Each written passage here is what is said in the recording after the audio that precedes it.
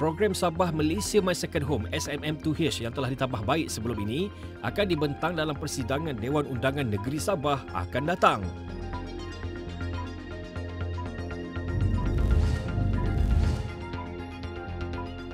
Kem berbasikal trek negara menyambar dua pingat gangsa masing-masing menerusi trio pecuk berpasukan lelaki dan wanita pada Sukan Asia Hangzhou 2022 di Velodrome Pusat Sukan Chun An Jishou pada Selasa.